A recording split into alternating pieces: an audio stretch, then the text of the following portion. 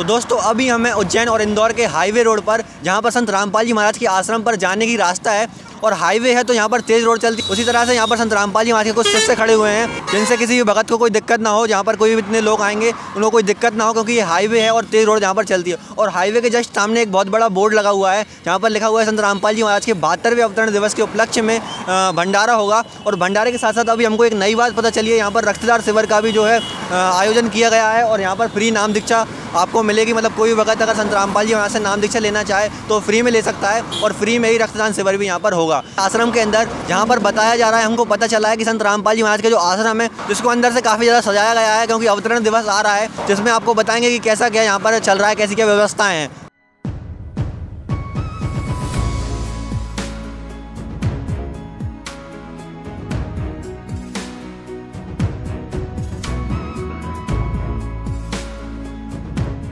तो दोस्तों, हम आ चुके हैं अभी इंदौर आश्रम के मेन गेट पर, जो कि आश्रम का मेन गेट है और यहाँ पर देख सकते हो आप बड़े बड़े फ्लैक्स बैनर लगे हुए हैं। जहाँ पर जो है संत रामपाल जी महाराज के बारे में लिखा हुआ है, धरती पर अवतार वगैरह।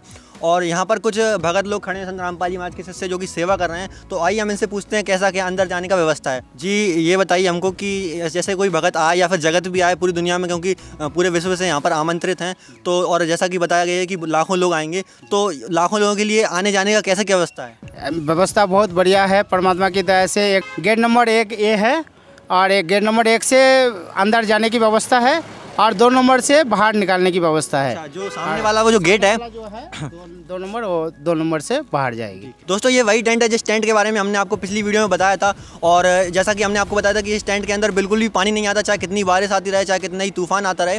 तो आइए हम इस, इस टेंट के अंदर देखते हैं कि कैसी क्या तैयारी अवतरण दिवस की हुई हैं। तो दोस्तों, ये है टेंट अंदर से और जैसा कि आप देख सकते हो कि कितना बड़ा टेंट यहाँ पर है और चारों तरफ़ संत रामपाल जी महाराज के फ्लैक्स, बैनर लगे हुए हैं, जिन पर संत रामपाल जी महाराज की कुछ वाणियाँ लिखी हुई हैं। और दोस्तों, यहाँ पर आप देख सकते हो कि टेंट अंदर से पूरा तैयार हो चुका है। यहाँ पर कोई भी भगत आकर बैठ सकता है, सत्संग सुन सकता है। और एक बात और है दोस्तों कि यहाँ पर जो है गर्मी, गर्मियों का मौसम है तो यहाँ पर गर्मी भी लग सकती है। इसके कारण संत रामपाल जी महाराज के शिष्यों ने पंखे की व्यवस्था कर रखी है, जिसके कारण कोई भी भगत को कोई गर्मी ना लगे और आराम से वो सत्संग सुन सके।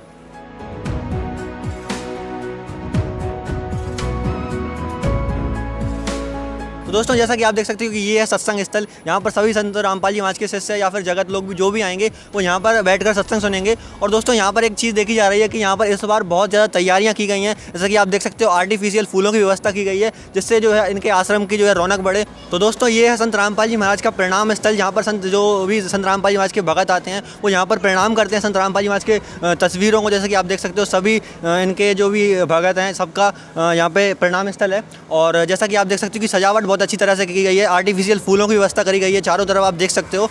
और मालाएँ वगैरह लगाई गई हैं। तो इस तरह की जो है सतलुक आश्रम इंदौर में तैयारियाँ हैं अवतरण दिवस की।